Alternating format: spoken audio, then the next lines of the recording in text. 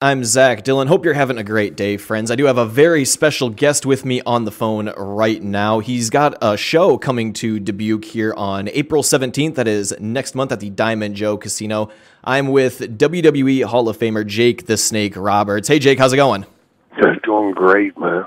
So, I do want to ask you real quick have you been to Dubuque before? Because I'm pretty sure this isn't the first time I've heard your name on radio commercials. No, I, I've been there before, sure. Yeah, Okay. in the day, you know, there wasn't many places we didn't go. All right, and you're looking forward to coming back? Absolutely, man. I'm looking forward to seeing some of the fans and uh, talking to them. I, that's one of the reasons I'm doing this tour, man. I like to get out there and talk to the fans and uh, hear their stories about back in the day when they were watching wrestling, maybe with their granddad, granddad, or or or maybe their dad or whoever, and just re, you know, give me a account of about what was going on in their lives back then, and uh, it just for me it makes it seem like yeah, you know, it was worth it, man. Because uh, if they still remember after all those years, then I must have been doing something right. So I just want to say I'm a little too young to maybe re- remember your wrestling career. I'm only 24, so I don't really know Oh, a whole lot about that. But no, I just wanted to ask Well, you. Just wanted to ask you kind of about that. Pubic hair will start soon. Don't worry about it. you know, you'll be okay. So tell me a little bit about your wrestling career. Like, how did you start? When did you start? Oh my God! I started a long damn time ago, man, and I did it for the wrong reasons. You know, I I was angry at my father, and uh, he was a wrestler, and uh, he wouldn't give me the time of day, and uh, so I decided I was going to do what he did and be better than he was. And you know, I did all those things, but uh, in the end, it didn't change the way he was. You know, and. um I paid a heavy price for it because I went down some wrong roads along the way and uh, beat myself up and tortured myself and tortured my family. And uh, but I've learned a lot, and um, in that learning, I've uh, been able to turn it around and uh, clean and sober now for seven years. And uh, Wow.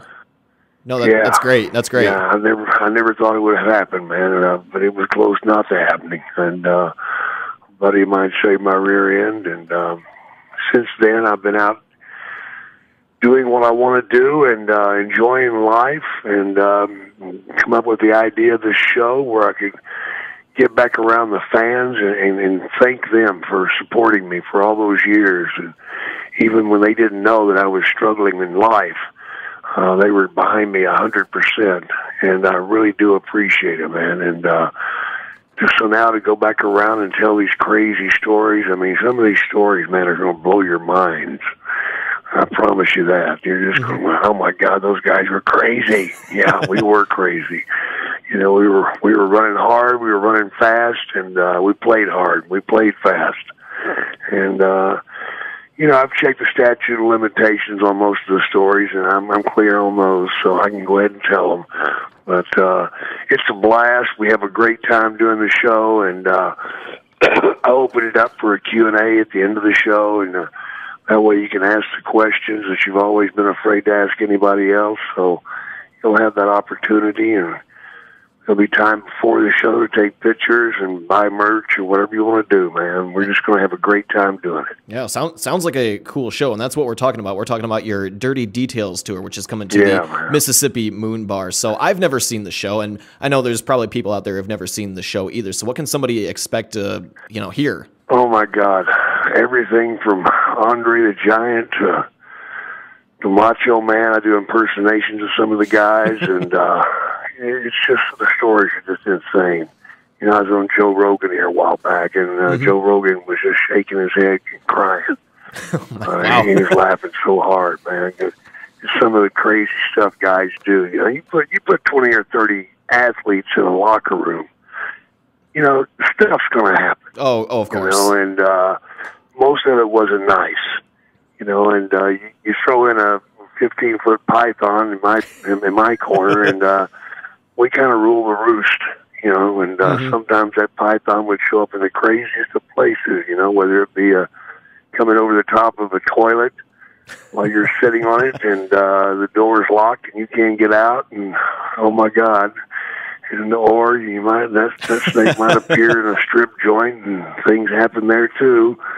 And uh, there there was always something going on. And uh, you know, I was in, in wrestling for 36 years, so I have a lot to pull from. You know, I get a lot of information stuck back that uh, keeps coming out, and uh, the reason it keeps coming out is because I'm out here on the road, and uh, you know, I go to these towns that I haven't been to in a long time, and uh, then all of a sudden something will click in my head, you know, and it's like, oh my God, I forgot about that one, you know, and there's their story coming out, so it's a necessity for me to get out here and beat the bushes, man, and find those stories. Now, do you find yourself to be like a natural storyteller? Is this easy for you yeah. to do? Yeah, it's easy, man. I don't have to think about anything. I just get up there and go, man, and that's what makes it so nice. You know, after all the years of being in the ring and uh, you know being being hit in the head way too many times, too many concussions and all that. Uh, you know, I was having some problems with my speech and uh, with my memory and all that. Mhm. And uh, since I've started doing this, it's helped. It's helped immensely, man. It really has, and uh, I'm so grateful for it. So, you know, it's the best of both worlds for me. I get to go out here and do something I like, uh, be around people that like me, and um, man, how much better can it get? I don't know, and get paid for it. What the hell? I'll do that. Exactly. So, you know, I'm whore. I don't mind. so were you, uh, I guess, friends with m- many of the people that you wrestled with? Were you friends outside the ring too?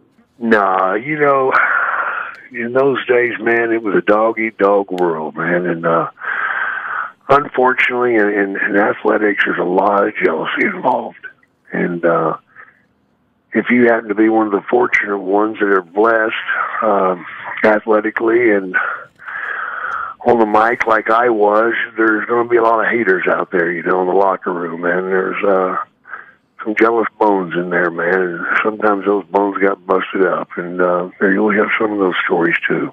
Was the snake always part of your your gimmick, or did that come into play over time? It came into play over time. For years, nobody let me do it. Um, you know, then I went to the WWF back in those days, Right. and uh, they were all for it, man. And uh, we jumped on board, and uh, it really grabbed it grabbed people's imagination, and that's what it was about. You know, getting people interested and getting people wanting to see what the hell I'd do next.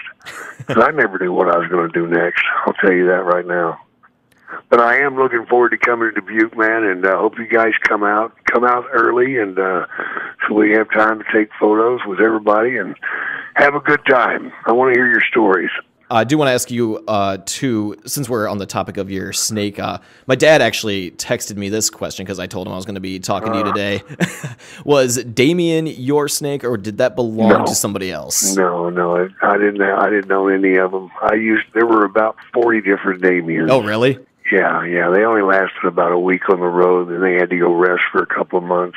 Oh, okay. Unfortunately, a snake only lasted a week on the road. Yet I could go out there for three months. Go figure that. Wow. I do want to ask you too about we know that King Kong Bundy passed away recently. Do you yeah. ha- are you going to be telling any stories about him maybe now that he I don't know. He recently know, passed, that- or- that's still pretty raw right now. You Okay. know, and uh, it is harder and harder every day that goes by, man. When when another one drops, Mhm. uh, you know, he was only sixty one years old, man, and uh, I'm sixty three, so that kind of that's not a nice thing, you know. And Right. it's still pretty raw right now. I'm sure by Showtime I'll come up with a Bundy story just to honor him, but. Right now, it's just a little too raw to think about. All right. And anything else you want to add here uh, before I let you go today? No, brother, let's just have a good time and uh, hope it warms up before I get there. Yeah, it is pretty cold. Might not hurt to pack an extra coat or something with you. Yeah, right. Well, hey, tickets to yeah, tickets to the Dirty Details tour at the Mississippi Moon Bar are available now. You can get those at the Moon Bar box office. I want to say thank you, Jake, for taking time out of your day to speak with me. oh, sweet, man. You guys take care of yourself. God bless.